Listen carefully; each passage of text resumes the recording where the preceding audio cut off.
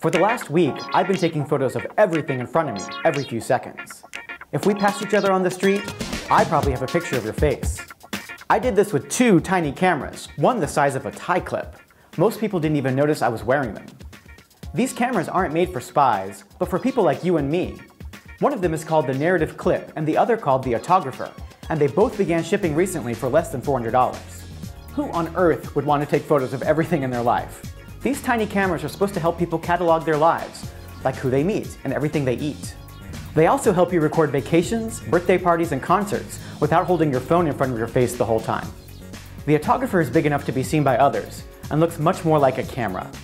A faint blue light goes off every time it snaps a photo.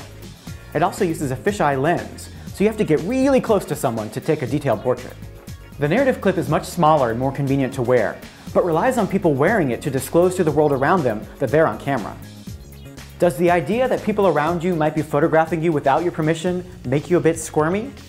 I found that was a big cost to using these cameras. They made others uncomfortable when they found out I was recording, and they made me uncomfortable when the people around me didn't know. What I learned is that we need some rules for the road with this kind of gear. The autographer camera I tested even came with a small etiquette guide that makes suggestions like turn off your camera when you're in a public place like a train.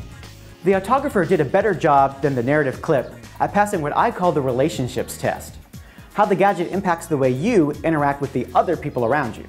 The truth is that this kind of always-on sensor technology isn't going away. You can now buy cameras built into products you wear on your wrist, ear, bike helmet, and face.